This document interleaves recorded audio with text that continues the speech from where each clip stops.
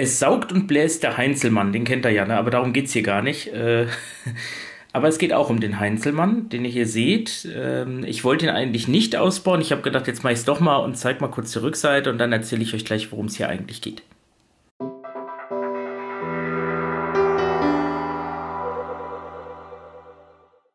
So, ich hoffe, ich treffe ihn genau im Bild. Das ist jetzt ein bisschen schwierig aus der Entfernung und ohne Lupe. Jetzt steht der Heinzelmann an seinem Bestimmungsort und lieber Bernd oder auch Meister Jambo. Nein, natürlich ist Heinzelmann ein Druckfehler auf dem Schaltbild gewesen. Er heißt natürlich Heinzelmann. Das wäre dann hiermit sozusagen der Gegenbeweis. Und äh, das Video verlinke ich euch unten, äh, denn Meister Jambo hat den originalen Heinzelmann gezeigt. Es gab auch neben dem 75 Jahre Grundig auch den 50 Jahre Heinzelmann.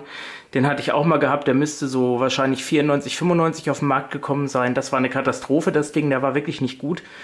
Und jetzt haben wir halt einen, der nicht nur UKW und Mittelwelle kann, sondern wirklich auch modern ist. Also Internetradio da Plus, FM, Spotify, Bluetooth, AUX in. Wir haben das hinten schon gesehen. USB-Port hat er auch. Man kann also auch einen USB-Stick anschließen. AUX in Kopfhörerausgang, Teleskopantenne. Die ist übrigens jetzt nicht ganz ausgezogen. Das ist noch wichtig, wenn wir gleich bei DAB Plus mal gucken. Und unterschlagen habe ich euch rechts den Kippschalter zum Einschalten das ist der. Ich fahre ihn jetzt mal hoch. Das dauert natürlich, ist wieder wie bei den Röhrenradios. Die CT hatte das irgendwann mal berichtet. Ich glaube in so einem Editorial, wo man gesagt hat, naja, die Geräte heute, die sind äh, wieder so langsam wie früher. Aber da wird ja auch viel mehr hochgefahren und so weiter. Also von daher ist das schon okay. Ja, wir sehen hier die Bedienelemente, die sind sehr einfach, sieben Stück an der Zahl, drei Drehdruckknöpfe, leicht gerastert, vier Tasten. Die Drehregler machen eigentlich einen guten Eindruck. Hoffen wir mal, dass sie lange halten mögen. Das heißt, ich weiß gar nicht, ob man es hier so richtig sieht. Genau, doch, man, man sieht es, glaube ich. Ja. Du liebst Weihnachten? Du bekommst Weihnachten. so, ganz einfach, der rechte Lautstärke, wenn man den drückt, Mute. Der in der Mitte ist der Drehgeber hier für das jetzt das Internetradio. Oder wenn ich hier die Favoriten drücke, kann ich dann hier na, jetzt macht das nicht. Ja, ich sehe es von hier jetzt nicht ohne Lupe. So, hier. Zack, kann ich mir einen anderen Sender raussuchen. Den habe ich hier schon mühevoll am Gerät programmiert. Es gibt für UKW da Plus und für Internet verschiedene Favoriten. 40 Stück sind das. Podcast kann er auch. Das habe ich mir nicht angeguckt. Und ähm, ja, das zu den beiden Drehreglern, also Lautstärke und der Drehgeber. Auch wenn man hier im Menü ist, kann man hier dann eben ganz schnell auswählen, was man will und drückt OK dann und dann kann man hier wieder zurückgehen. Das ist sehr einfach. Hier links haben wir die Auswahl der Quelle und die vier Tasten sind Soft-Tasten. Also die Funktion zeigt er dann im Menü. Und wenn ich jetzt hier mal so drücke, jetzt muss ich mal gucken, was haben wir hier? UKW ist nämlich interessant. Ah ja, da bin ich schon. Und wenn ich jetzt hier mal drehe, quasi am VFO, also am Senderrad, dann sieht man das, dass hier hinten so wie als würden die, äh, ja, wie so eine Walze, ne? als wenn die Sender so hinter der Nadel langlaufen. Ich kann natürlich auch drücken, dann sucht er automatisch. Hier hat er bei der ersten Einrichtung auch direkt Favoriten abgelegt. Ne? Also hier die Frequenzen. RDS hat er wahrscheinlich auch, das habe ich jetzt noch gar nicht gesehen. Ähm, ja, was gibt es noch zu sagen? Empfang ist sehr gut, also jetzt auch hier mit der etwas halb ausgezogenen Antenne. Hier müsste da Plus sein. Das ist auch erstaunlich. Ach nee, jetzt haben wir Bluetooth. Echo, wie spät ist es? Ne, hier habe ich den Echo gekoppelt, der im Büro steht. Das ist natürlich auch sehr angenehm, ist es in die Richtung. Also man kann an den Symbolen das auch gut erkennen, wenn man nicht so gut gucken kann wie ich.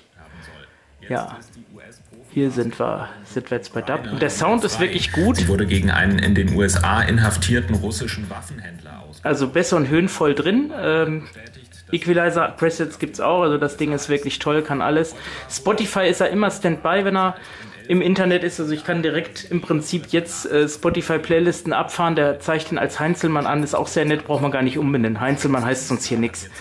Also äh, alles in allem ein wirklich wunderbares, tolles Radio. Äh, vielleicht noch so generell Dinge. Der Wecker, also er hat hier zwei Wegzeiten, die man programmieren kann, auch sehr, ähm, ja, sehr aufwendig, also täglich, Wochenende, einmalig. Da habe ich so gedacht, oh, das sieht ja so ein bisschen aus wie von Magic Systec und habe mal so die Apps installiert, die ja diese typischen Magic Systec Radios, also mit dem Chip oder auch Frontier Silicon, die Undock-App äh, steuern, aber da wird er nicht gefunden. Also irgendwie ist das noch was anderes und man sieht das ja auch in der Farbgebung, das hat man schon schön angepasst hier. Und beim Wecker muss man halt wissen, ich kann hier links das Radio ausschalten, auch durch Drücken des linken Drehrads. Jetzt ist es aus. Wenn ich rechts natürlich den Kippschalter ausmache, dann wird er nicht mehr wecken können. Ne? Das ist halt, das muss man wissen. Äh, als Radiowecker fände ich ihn daher so ein bisschen, äh, wie soll ich sagen, also es ist schon ein bisschen schwierig, muss man dann gucken, ob er dann auch weckt, wenn kein Internet da ist. Wenn man einen Internetsender auswählt, weiß ich nicht, habe ich alles nicht ausprobiert. Aber dafür ist es ja auch für mich nicht da. Es ist ja eigentlich als Küchenradio gedacht. Na, jetzt geht er gar nicht mehr an. Oder was muss da noch runterfahren? Also die Hochfahrtzeit, gut, braucht ein bisschen, das tun die alle, das ist jetzt nichts Besonderes. Zur Verarbeitung, hier haben wir die Stoffbespannung. Ähm, die Front ist aus Holz. Grundig, grundig schreibt Holzgehäuse, aber wenn man hier oben mal klopft, das ist kein Holz, das ist Plastik. Leicht ist er nicht, so anderthalb Kilo externes Netzteil hat er. Ähm, Jo, was gibt's noch zu sagen? Wir haben es gerade bei Da Plus äh, gehört, recht empfindlich, äh, trotz dass die Antenne fast drin ist, empfängt er hier was. Das ist hier nicht ganz selbstverständlich auf dem Land. Äh, ja, was habe ich noch vergessen? Ähm, vielleicht die Odyssee, wie ich an den Heinzelmann gekommen bin. Ich habe ihn zwar schon gesehen, dass es ihn gibt, aber irgendwie so, naja, ich habe gedacht, Heinzelmann, ach nee, bisschen teuer. Der UVP damals 2020 lag bei 329 Euro. Das finde ich ein bisschen viel. Aktuell ist er so zwischen 149 und 199 Euro zu kriegen. Vergleichbare Radios kosten so ab 100 Euro. Jetzt ist es auch kein Stereogerät. Das finde ich persönlich nicht schlimm, weil er halt einen sehr voluminösen Lautsprecher hat. Hinten hat er auch Löcher im Gehäuse. Also das ist schon klanglich okay. Ähm, was äh, man noch dazu sagen muss, dass äh, ja, wie soll ich sagen, ich hatte ein Radio gesucht, also hier stand vorhin Albrecht DR883. Und mich hat Spotify Connect interessiert, weil ich halt Spotify habe und das hätte ich gerne gehabt. Äh, das DR883 hatte auch Bluetooth. Der USB-Anschluss, der ist natürlich auch sehr reizvoll, da eben mal einen Stick reinzustecken. Und äh, ich hatte dann geguckt, welche Radios können das. Hatte vorher dann im, zum Black Friday ein Sharp DRI 470 Pro bestellt. Das gibt's auch ohne Pro, dann kann es kein Internet. Mit Pro kann es dann eben auch alles, außer USB. Und das Gerät kam hier an, hat nichts empfangen. Keinen einzigen DAP-Sender, kein WLAN-Router, hat sich drei, vier Mal aufgehangen und das habe ich mir eine halbe Stunde, Stunde angeguckt, habe gesagt, nee, das geht nicht, habe das Ding wieder eingepackt. So, und dann habe ich gesucht, welche Radios gibt's denn, die das können. Und dann kam ich wieder auf den Heinzelmann zu dem etwas attraktiveren Preis. Ich habe bezahlt bei Expert Online Shop 129 Euro plus Versand. Und da habe ich gedacht, komm, bestell ihn mal, guck ihn dir an. Habe ihn gekriegt, habe ihn eingerichtet, funktionierte alles auf Anhieb, also auch die WLAN-Geschichte mit WPS hat alles funktioniert.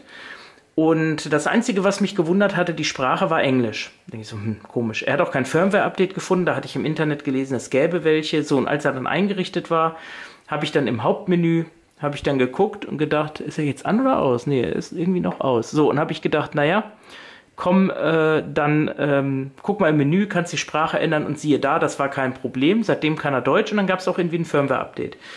So, es gab also mit dem Gerät wirklich keine einzigen Probleme, äh, außer die App, die ich nicht gefunden habe, äh, die es wohl nicht gibt. Das Sendersuchen ist eigentlich nicht so kompliziert, funktioniert über Listen mit den Drehgebern ganz gut. Auch mit der Texteingabe ist das okay, man kann Freitext suchen. Und wenn man den dann auf die Favoriten legen will, hält man Favoriten gedrückt, wählt einen der 40 Programmspeicher und drückt OK, dann ist er drauf. Das erinnert mich schon irgendwie alles an Magic System, aber irgendwie, ja, weiß ich nicht, was da anders ist. Ja, das äh, mal zum Heinzelmann. Der hat auch eine Bezeichnung, GRD 7000 irgendwas, schreibe ich in die Videobeschreibung rein. Und äh, auch einen Blick kann man werfen auf den Artikel zum Thema Da Plus, den ich mal geschrieben habe, immer wieder aktualisiert habe. Da habe ich auch ein paar Bilder von meinen Radios drin, aber ähm, den hier nicht, ne, weil der jetzt einfach neu ist. Und ähm, ja, ich muss auch sagen, da hat sich eine Menge getan. Ich war am Anfang überhaupt nicht überzeugt von DAB Plus hier gerade auf dem Land. Es war eine Katastrophe. WDR kriege ich auch nicht über DAB Plus, weshalb ich dann doch für NDR und WDR Internetradio brauche. Aber wenn das Internet mal weg ist, ist es natürlich gut, wenn man auch mal noch analoges Radio hören kann. Und da hat sich natürlich so ein hybrides Radio angeboten. Ja, und was soll ich sagen? Es hat sich doch bei Da Plus einiges getan. Wir haben hier so 40, paar 40 Sender, da war ich doch echt überrascht. Und ich finde hier auch eigentlich alle, bis auf Oldie-Antenne. Irgendwie ist die nicht da. Keine Ahnung warum, die finde ich nicht. Ansonsten war es eigentlich relativ schnell. Also ich sage mal, eine Stunde habe ich gebraucht oder nicht mal, um dann alle Favoriten, die ich so brauche, reinzupacken. Fernbedienung hat er, äh, wie ihr gesehen habt, auch. Die steht ja rechts daneben, weiß nicht, ob man die jetzt sieht. Und von daher ein gutes Gesamtpaket. Und gerade Spotify Connect ist natürlich ein Nährwert, mehr, Nährwert, Mehrwert, Entschuldigung. Vor allen Dingen, weil man das auch ansprechen kann, wenn er im Radiobetrieb ist. Also ich muss nicht erst auf Spotify schalten, sondern finde den und kann loslegen. Ja, soweit zum Heinzelmann. Schönes Radio kann ich nur empfehlen. In diesem Sinne, tschüss und schöne Weihnachtszeit.